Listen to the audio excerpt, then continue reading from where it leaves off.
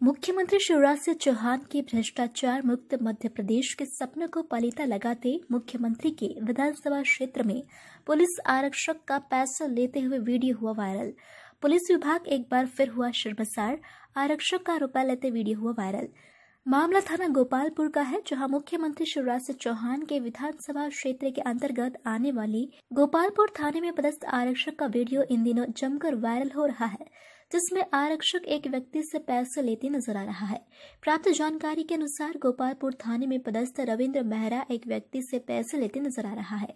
वहीं पैसे देने वाला व्यक्ति गोरखपुर निवासी ब्रजेश मीणा से जब इस बारे में पूछा गया कि आप किस बात के पैसे दे रहे हैं तो ब्रजेश मीणा ने बताया कि कुछ दिन पूर्व में अपने ट्रैक्टर को सुकरवास से लेकर आ रहा था। इस दौरान आरक्षक रविंद्र मेहरा द्वारा मुझे रोका गया। और ट्रैक्टर में क्या है, इसकी जानकारी लेने पर मैंने कहा, कुछ नहीं है। लेकिन आरक्षक द्वारा गाली गलोच कर ट्रक जब्त करने की बात कहने लगा।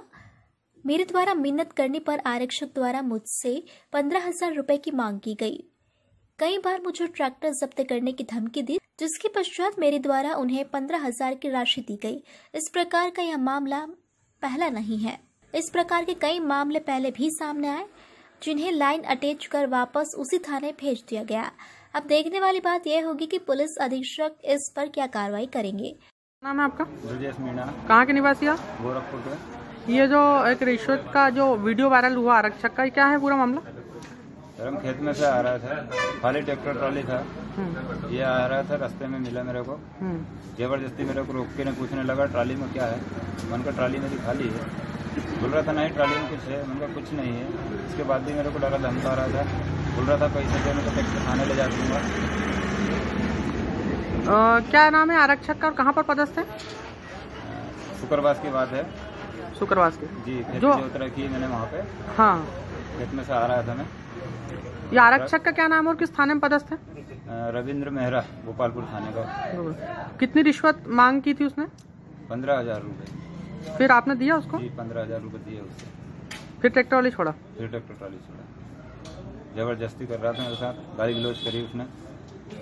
पैसे देने के बाद ट्रैक्टर छोड़ के। और किसी प्रकार की आपको धमकी भी दी है उसने? हाँ धमकी दिए बोले ऐसा ट्रैक्टर आपने पैसे नहीं दिए तो आपको ट्रैक्टर ट्रॉली जब्त करवा दूँगा। थाने ले जाके खड़ा कर दूँगा। गाड़ी गलौज करी मेरे साथ। और भी आगे के लिए तेरे को दिक्कत आ सकती है। मेरे को या तो पैसे दे या तो ट्रैक्टर ट्रॉली दे। मेरे साथ मजबूरी में उसको पैसे। ये वीडियो में जो रिश्वत जो दे रहे हैं वो आप ही हो? जी हाँ मैं जहाँ मुख्यमंत्री भ्रष्ट लोगों के खिलाफ कार्रवाई पर एक लाख की घोषणा की बात करते हैं वहीं उनके विधानसभा क्षेत्र में आए दिन ऐसे कई मामले सामने आ रहे हैं जिसमें सरकारी कर्मचारी लोगों से रिश्वत के नाम पर अवैध वसूली कर रहे हैं। ऐसा एक मामला फिर देखने में आया है। पर कोई कार्रवाई होती है या सीएम की घोषणा मात्र घोषणा ही रहेगी। जनता को लूटने वाले सब सावधान हो जाए, किसी को नहीं छोड़ूँगा, किसी को नहीं छोड़ूँगा। आज दो तरफा कार्रवाइयाँ हो रही है। जिनने गड़बड़ करके जनता का धन लूटा उनके अवैध अतिक्रमण तोड़े जा रहे हैं। बिल्डिंगें गिराई जा रही है। जेलों में भेजे जा रहे हैं। उनकी आर्थिक कमर तोड़ के रख देंगे हम। जनता को लूटने वाले बर्दाश्त नहीं होंगे किसी भी कीमत पर।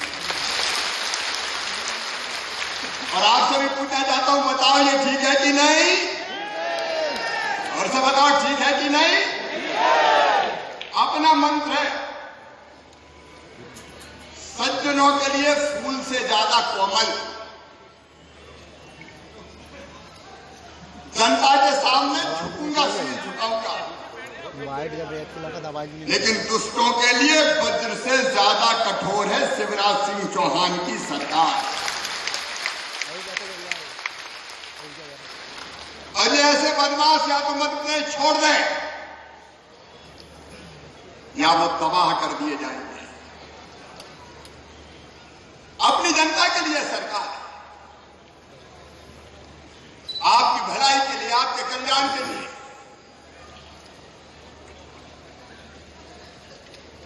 और आप जानते जब मैं मुख्यमंत्री बना, कोरोना काल में मुख्यमंत्री बना। खजाने में करती है, पैसा नहीं है ज़्यादा। लेकिन मैं कभी रोया नहीं कि मेरे पास पैसा नहीं है, मैं क्या करूँ? आज भी पाँच लाख किसानों के खाते में मुख्यमंत्री किसान कल्याण योजना के सौ करोड़ रुपया डाले हैं और किसान भाइयों, डालता रहूँगा डालता रहूँगा डालता रहूँगा। आप देख रहे हैं रश इंडिया न्यूज़ हर खबर सच्चाई के साथ।